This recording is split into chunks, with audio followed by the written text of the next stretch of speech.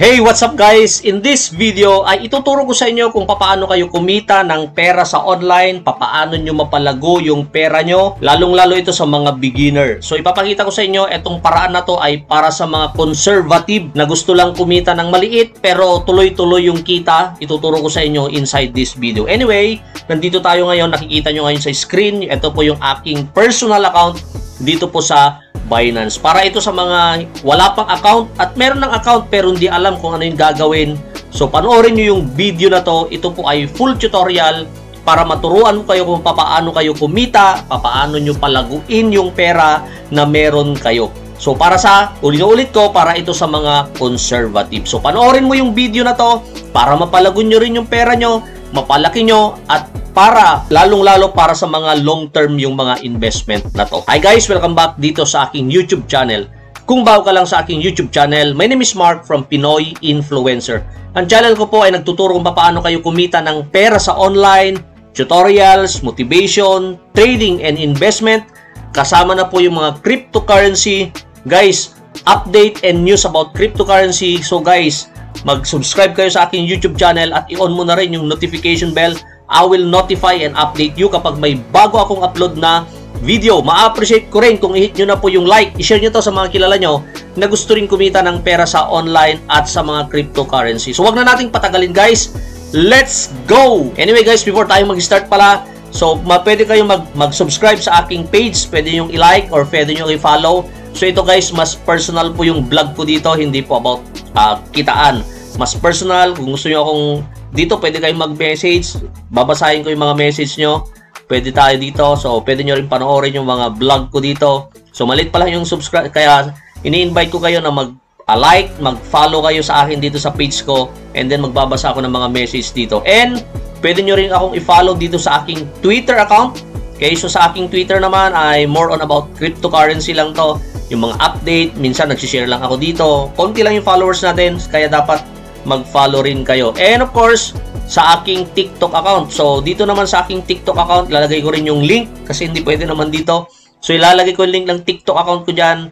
Pwede po kayong mag-follow din sa akin doon and then more on pwedeng comedy or halo-halo pa rin yon pero more on cryptocurrency rin sa update ko. May mga news yon lalagay ko sa aking TikTok. So, follow nyo ako doon. And of course, dito sa aking main na YouTube channel. So, dalawa yung aking main YouTube uh, YouTube channel ko. Yung isa guys, ito guys. Okay, so ito naman yung Trading Pinoy Influencer. Ito, nakafocus talaga. Wala nang ibang make money online, kundi sa mga cryptocurrency. Sa mga exchangers, review, dito naman po yon sa aking YouTube channel na to. So, yung link din nito ay nandyan din sa description. Follow nyo rin ako dito, subscribe kayo dito para mas lalo po tayong kasi dito sa mismo kasing Pinoy influencer, isa na lang po yung exchanger na nag-exclusive doon. Ito, kahit sa ang exchanger. Okay, lahat ng exchanger na kung saan pwede nating i-review, pwede kayong mag-suggest dyan dito sa ating comment box. So, wag nating patalin guys. Let's go! So, para po to sa mga wala pa account sa Binance. So, kung kayo ay may account na and gusto nyong pwede nyo i-skip yung part na to. Pero sa mga wala pang account, lalong-lalo sa mga gusto talagang kumita, guys, ituturo ko muna sa inyo yung steps para magkaroon kayo ng Binance account. So, importante kasi, na tama po yung steps para makapag-sign up po kayo. Merong link dyan sa description, account Binance, then register, makikita nyo yan, and ito yung, yung link yan, yan po yung i-click nyo dyan sa description. Pag description, yan sa baba ng video.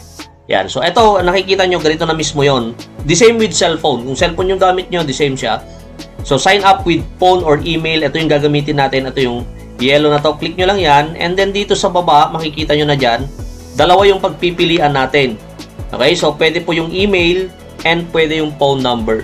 Kung kayo ay mas gusto yung phone number, pwede po yan. So, click natin tong phone number. Madalas kasi mga Pilipino at yung mga bata ay mas gusto nila yung phone number. Okay lang yan, wala hong problema. So, ilalagay nyo lang po yan kung ano yung number nyo. Then, sa limbawa, 0917 123 4567 dapat kumpleto. Then, ilagay nyo yung password nyo dito. Okay, so, then, click nyo tong dalawang to. Or kung gusto niyo naman ng mga marketing updates, click nyo rin yan. And dito sa baba, then click nyo lang yung personal account. So, mag lalagay nyo dyan and then doon sa uh, cellphone number nyo, abangan nyo yon merong text messages doon para sa verification. Anim na number yon ire-reply nyo lang doon. Or kukunin nyo yon pala yung number na yon and then dito, yung kailangan nila, ayun, ipo-provide nyo. And from that, Next na gagawin nyo na lang is i-verify nyo yung account nyo. Papakita ko rin sa inyo paano i-verify yung account. So, paano ba mag-login? Ito lang yung type nyo, binance.com en. Okay na yan. Then, pwede na po kayo mag-sign up dyan or login. Click nyo to or set, ito yung type nyo dyan dito sa browser. Then, may, meron siyang en dapat. So, then, magla-login na kayo. Once naka-login kayo, yung login pala guys, yung ilagay yung cellphone number nyo and then yung password nyo, magte-text yon para ma-verify yung account nyo. So, kunin nyo yung number na yon then get code, click nyo yung get code, then pwede na kayo mag-sign up. Okay, so ngayon nandito na tayo sa ating account. Ang next na gagawin nyo is verify. Kailangan ma-verify. Dito sa verification, kailangan nyo po dito sa banda nito, okay, yung identification, kailangan nyo pong ayusin yan. So, madali lang po mag-verify dito sa Binance. Kung nahihirapan kayo, pwede nyo pong i-reach out yung mismong customer service nila para ma-provide yung kailangan nyo para makapag-create kayo ng account. So dito, sa Philippines, walang problema. May mga news tayo about na sinisiraan si Binance.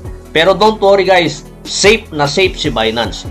Siya po yung number one na exchanger sa buong mundo, biggest marketplace when it comes to uh, cryptocurrency. Siya po yung number one. Siya yung pinagkakatiwalaan din natin. Mula nung nag-start to guys, meron nag-try na nag-hack pero lahat na ibalik nila yung pera. So wala pong problema. Wala siyang uh, previous na problema yung Binance. Kaya yung iba na medyo may problema, eh pwede nyong wag muna. Eh, ito pwede yun. So dito guys, be-verify. Dalawa yan, verify by verified and verified. Plus dito kung gusto nyo mas malaki yung pwede nyo i-withdraw. Pero okay na yan. Kasi ito, ang withdrawal mo is 8 million. Okay? 50,000 daily. So sobrang laki na yan. That's 2.5 million. Kung gusto mo naman, uh, bitin sa'yo, then pwede kayo mag-verify ng isa pa. Yung proof of address. Yan. Ito guys, verified. Personal information, government issued ID, and facial recognition. Yung facial recognition, ganito lang yon. Okay, meron siyang oblong dyan, then iiling ka lang. Okay, so i-scan yon, then okay na yan. Then wait lang po kayo ng 3 days. Okay, pero sa Philippines, usually guys, one, uh, 24 hours. Kung matagal, 10 days yung pinakamatagal na. Sobrang kan siguro malabo yung picture na ginamit mo kasi gusto talaga nilang ma-verify. And kapag na-verify na kayo, ang next thing na gagawin nyo is kailangan nyo na mag-deposit. Bakit kailangan mag-deposit? Eh syempre, ito ay ano iti-trade natin kung wala tayong de-deposit. So magde-deposit tayo. Ito na po yung safest and most trusted na paglagay ng pera dito sa Binance. Yung P2P trading. So dito, click mo yung P2P trading. Pero bago kayo makapag P2P, dapat ay fully verified.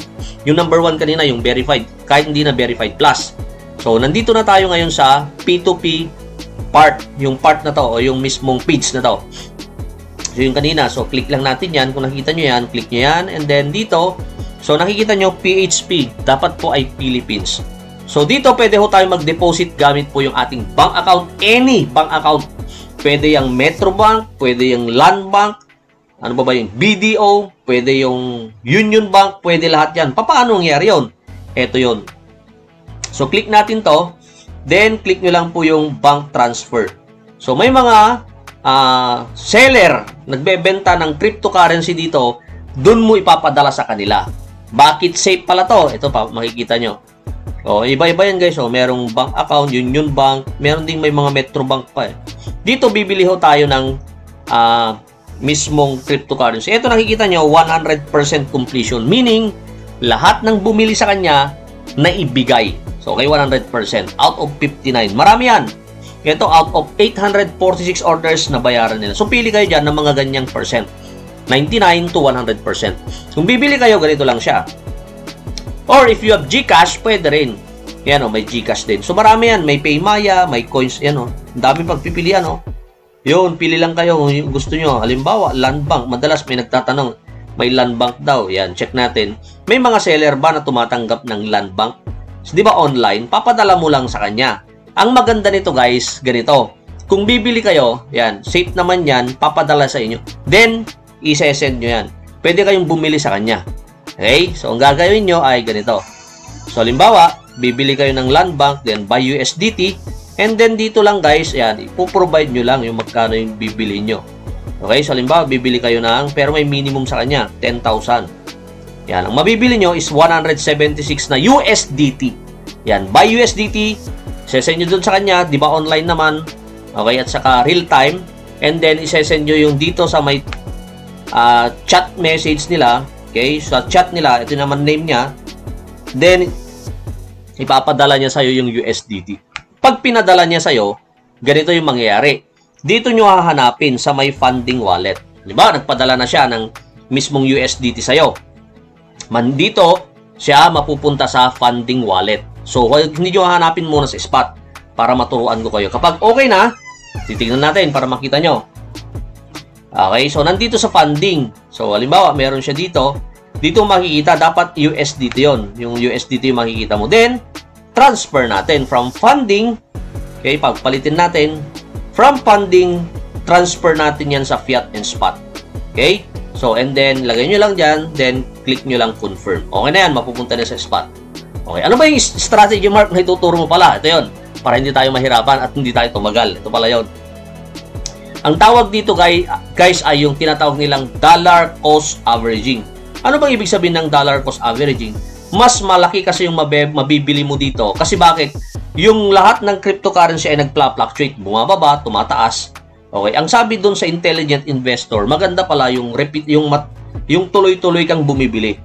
Okay, parang nagse-save ka, pero yung ginagamit mo ay etong strategy na to. Bakit? Halimbawa, meron kang $100. Bibili ka ng Ethereum, ang presyo niya is 1,500. One time lang, bumili ka. Okay? So, ang makukuha mo lang is 0.066. Okay? Samantala, kung ikaw ay meron ka ring $100, ang ginawa mo ay daily. Bumibili ka. $10, $10, $10. So, 10 days. Okay? Ito yung mga price nagpla-fluctuate. May 1.4, may 1.450, 1.5, 1.350, 1.4, 1.520. Lagpas dito, 1.520, 1.520, 1.2. Pag bumili ka ng ganyan pala, mas malaki yung mabibili mo. Bakit? Okay, pag in-average mo yon, ito 675. Mas marami kang nabibili. Pareho lang naman na $100. Ito yung gagawin natin. So, paano yon? Ang tawag dyan is dollar cost averaging. Ito yung strategy ni Warren Buffett nung nagsisimula rin siya. So, ang sabi niya ay hindi siya nag-withdraw. Ang ginagawa niya lang, bumibili siya ng mga lilit ng stocks pakonte-konte, pero tuloy-tuloy. So, ang tawag doon, dollar cost average. Pwede nating i-apply dito sa Binance. So, limbawa, nandito na tayo ngayon sa Binance. Okay? So, dapat ay yung wallet, yung pera nyo ay nasa fiat and spot. Okay, yun lang yung gagawin nyo.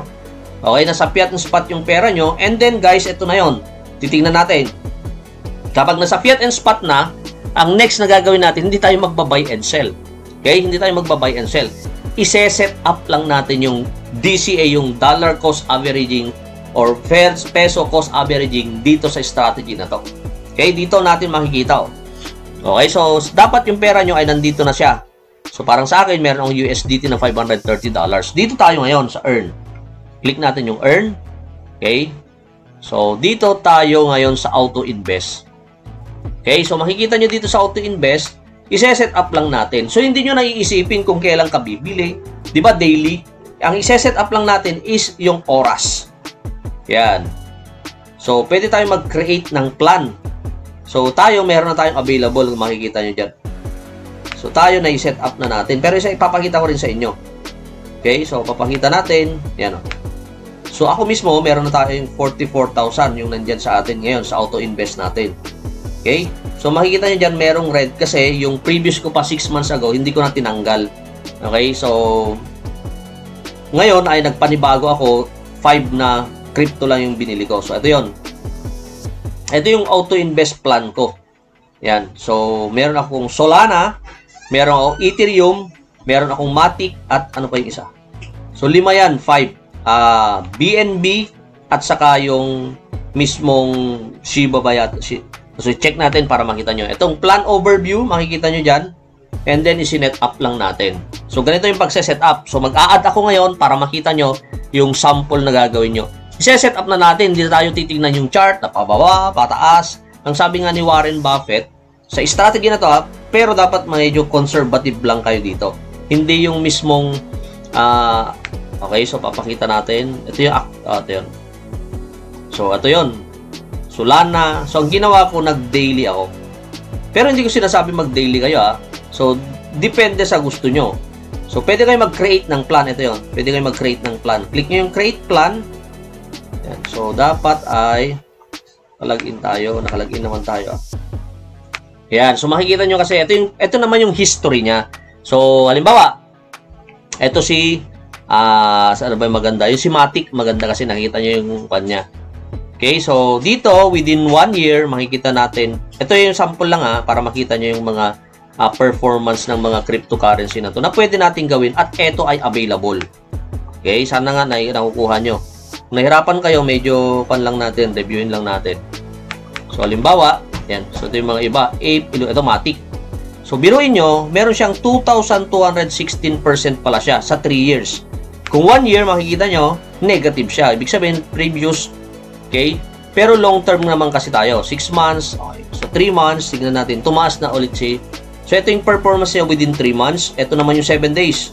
Tingnan natin kung 7 days maganda ba yung performance ni Matic. So, 1.95 naman. Pero yung 3 years niya is 2,000. So, halimbawa, nag, uh, nagde-daily kayo na save dito, eh, nag 2,216%. So, ngayon, gagawa tayo. Halimbawa, ito naman, si DOT, Polkadot, or pwede si Illuvium, pwede rin yung si uh, one year niya, si Illuvium. So, depende guys, ah, may mga M-Box, Tingnan natin para makita nyo. Yan. So, halimbawa, ito si FTM, ganun din. In 3 years niya, napakalaki yung itinaas niya. So, halimbawa, ito yung gagawin natin. Gagawa tayo ngayon ng plan. So, create plan. Click natin dyan para makita nyo. So, ang gusto ko, halimbawa, so may minimum guys, ha, nakikita nyo $1. Sa akin, maglalagay lang ako ng magkano? $5 per day. Okay na ba yan? Okay na sa akin yan kasi hindi naman mabigat. So, daily. Dapat daily sa akin. Pwede rin weekly. Nakalagay dyan. Pwedeng bi-weekly, twice a week, or monthly. So, sa akin, gusto ko daily. Eh, anong oras? So, pwede kayong maglagay dyan. Pwede pong, uh, ito, pwede nyong pindutin yan. So, halimbawa, okay, every 4 a.m. Pwedeng PM, pwedeng AM. So, automatic na siyang magbabay. So, kapag okay na siya, dito, click mo lang itong I have read and agree. Then, click mo lang yung confirm. So, pwede nyo baguhin yan. Gusto nyo yung BUSD, pwede rin yung USDT. Yan yung cycle niya. Every 4 a.m., bibili siya ngayon ng FTM. So, click ko lang itong confirm. Yan. So, nakita nyo, plan scheduled successfully. Yun na yun. At makikita nyo po yung pera nyo dito, dito sa earn. Sa earn nyo makikita yung pera nyo. Okay? So, okay na yung auto-invest ko. Ito na yung active. Makikita nyo yung active sa akin. Okay? So, makikita nyo yung active dito sa back lang tayo. Ito yun guys. Oh. Yan, yung active natin ay so dito back tayo. Ito yung mga pwede available siya. Alam nyo ba guys na 600% sobrang laki na yun in 3 years? Kung mag-hold ka lang pala ng any cryptocurrency na pabili ka ng paisa-isa, ibig sabihin lumalaki na siya, lumalaki pa yung value niya at consistent lang dapat. Okay, so makikita nyo dito yung mga products or yung mga, ito yon sa atin, naka-on, nakikita nyo naka-on. Nga now, kung ayaw nyo na, i-off nyo lang. I-off nyo lang, hindi na siya bibili. Pero yung pera nandun lang siya. Okay? So, ito, alam mo, mer ito, meron akong $371 na, na naipon. Okay, 145. Ito naman yung nabili natin. Kung makikita nyo, bakit negative yan, Mark? Ito kasi, in-average niya na kasama na yung previous 6 months ko. Eh, nag-off ako noon. Eh, sinama niya. Kaya medyo negative siya.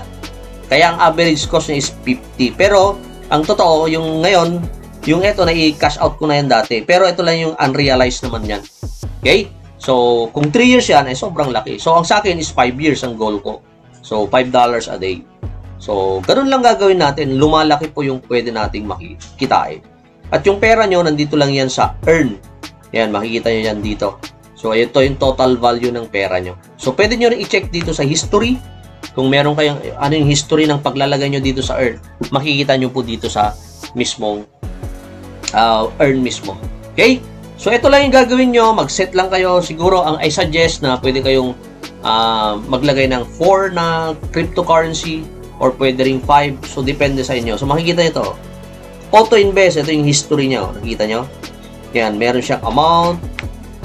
Success. Nakikita nyo dyan. Bago lang ako nag-start ulit. Okay? So, makikita yung subscription. 8.1 to 9.1. Makikita nyo dyan. 1 month. So, ito yung mga nabili natin. Solana, yan. Auto-invest na automatic na yan. Pag ayaw nyo na, sabi ko, i-off nyo and then transfer nyo lang. Yung pera nyo, i-transfer nyo lang po sa, alimbawa, ayaw nyo na, transfer nyo lang yung pera nyo from earn papunta po dun sa mismong fiat and spot. Ganun lang. Okay, punta lang kayo dito sa wallet. Yan, di ba may earn?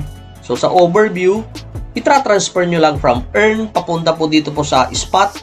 And from spot, okay, pwede natin i-transfer sa funding. From funding, i-cash out din natin ulit sa tinatawag nilang peer-to-peer o yung P2P nila. Yun lang yung proseso. Okay? Napakasimple, di ba guys? Napakasimple. Ang proseso dito po sa dollar cost averaging na strategy para sa mga conservative lang to guys ah lalong-lalo sa mga yung ayaw talagang binabantayan yung chart na hilo or walang time para bantayan, you can use yung mismong DCA or yung auto-invest ni Binance. Maraming kumikita na dito sa ganon. Hindi malaki. Pero mas safe naman compared dun sa yung high risk nila. So para sa mga conservative. Pero hindi ko sinasabing huwag kayo mag-trade sa futures. Pwede ka rin mag-trade kung talagang uh, manage mo na yung sarili mo. So ito para sa mga conservative lang. Okay? Ako, naglagay ako ng portion ng pera ko, nilalagay ko dito. Kaya lumalago rin siya. Lumalaki siya. Maliit yung paglaki, pero tuloy-tuloy naman. Pwede nyo i-compound yung ganitong strategy. I-compound nyo yung pera nyo. Bakit? Siyempre, pwede nyo ilagay ulit yung mga yung profit nyo, pwede nyo rin ilagay. So, okay. So, ito lang aking ma-share in this video. Sana nagustuhan nyo. At sana nasundan nyo naman yung aking pagtuturo at yung guide at step by step naman. Now, if you are confused, naguguluhan kayo, pwede nyong balikan yung part na yon and then tuloy lang naman yan. And if you have more questions pa rin, feel free na mag-comment dyan kayo sa comment box. Now, if you are watch this at till this part, pwede bang i-type nyo po yung wallet overview dyan sa comment box para malaman ko kung nakarating kayo sa part ng video na to. Pakitype naman po sa comment box yung wallet overview. So once again, this is Mark from Pinoy Influencer. Thanks for watching and see you on my next video. Thanks and bye-bye.